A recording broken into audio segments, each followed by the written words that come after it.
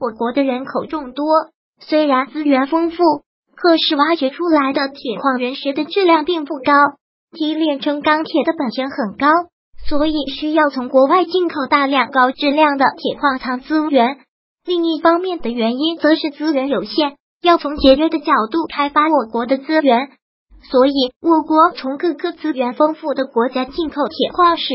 澳大利亚就是其中之一。而且，澳大利亚的矿藏油质资源储量大，所以目前我国每年都从那里进口大量的铁矿石。我国作为澳大利亚最大的买家，不只是让澳大利亚州赚取了丰厚的酬劳，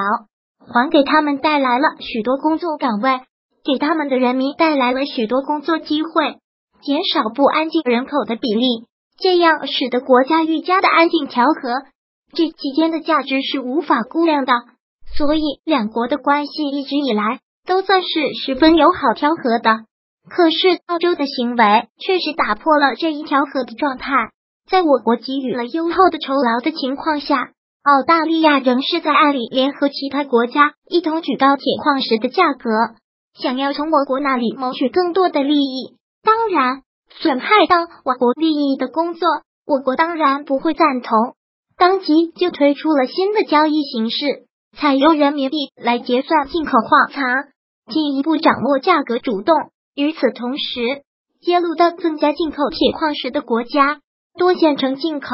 因为也有许多其他的国家都十分热切的想要成我国的贸易伙伴，这样就可以到达降低价格的目的。我国通过采纳新进口形式，利用人民币结算，使得澳大利亚等国家的举高铁矿石价格的计划破产。而且，澳大利亚这个国家首要依托矿藏资源的出口作为经济来源，一旦失去出口大量铁矿石到我国的资格，将会丢失许多的经济，而且有许多工作岗位将会消失，到时分就会有许多人丢失工作。不能创造劳作价值，依托国家补贴生活，甚至漂泊乞讨，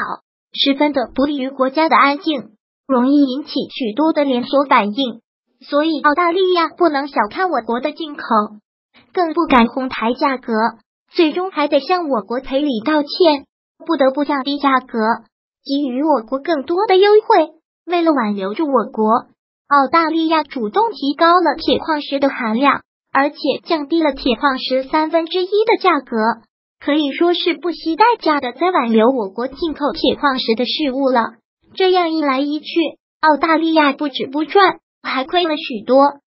图片来自网络，我觉得我领导是个不可思议的神经病。今天下班，领导神神秘秘的把我喊到他办公室，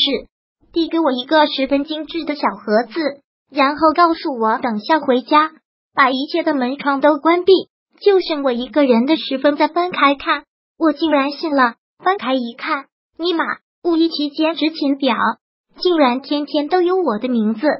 在姐家住，姐有一闺女，六岁早上我们吃饭，她不肯吃，叫妈妈喂。我说你都多大了，还叫妈妈喂？她悠悠的来了句：你都多大了，还用小孩的尿不湿？我和姐那个汗呀。